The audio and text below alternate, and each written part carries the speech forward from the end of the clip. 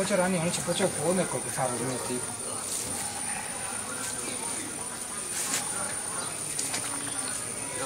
Zato bi oni trebali biti gotovi s divljenjem.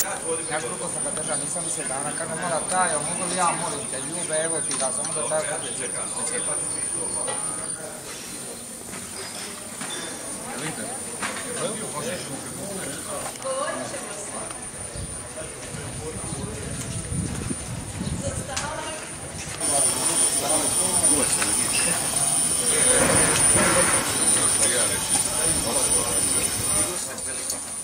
Sad velika.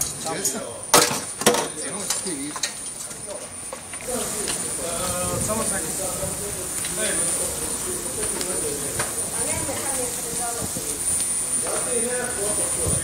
Ima. Ne meni, ja vam ne.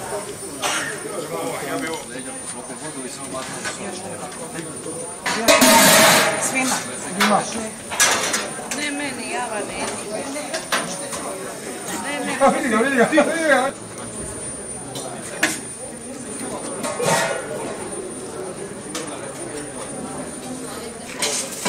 Ya la otra de... ne pali ga. Osim ovoga ima još, tako da ne bojte se.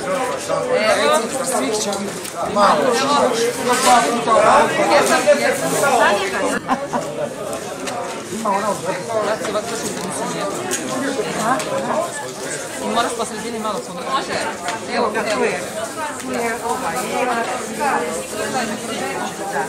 Ne spašava. Dann mi je nekaj v popoln. Kaj ste ti roko?